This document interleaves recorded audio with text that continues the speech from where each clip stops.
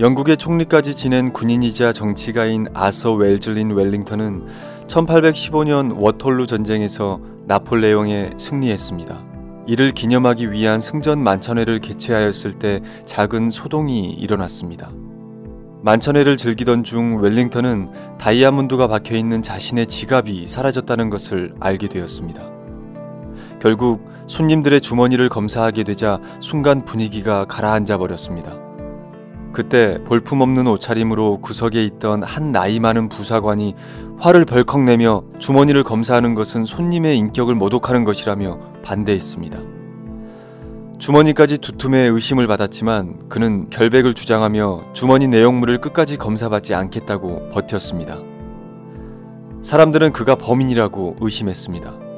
만천의 주인으로서 입장이 몹시 난처해진 웰링턴은 손을 내저으며 없었던 일로 하자며 검색하던 군인들을 만류하고 그렇게 해서 만천에는 끝이 났습니다.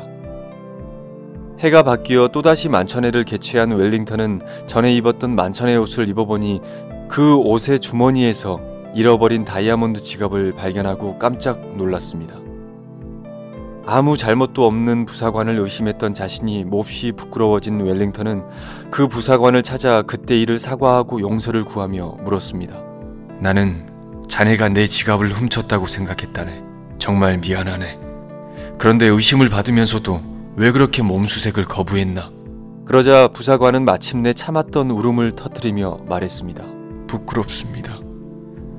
그때 제 주머니에는 만찬회 음식이 들어 있었습니다. 배불리 먹어보지 못한 자식들에게 주려고 그랬지만 대영 제국의 군인이 만찬회의 음식을 손댔다는 사실이 알려지는 게 싫었습니다. 그는 명예를 지키기 위해 도둑의 누명까지 감내한 것입니다. 그 말을 듣고는 웰링턴도 부사관을 붙잡고 함께 울음을 터뜨렸습니다.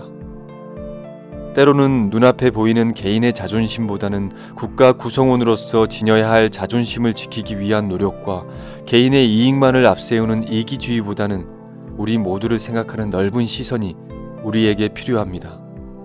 오늘의 명언. 명예를 잃는다면 과연 남는 것이 무엇인가?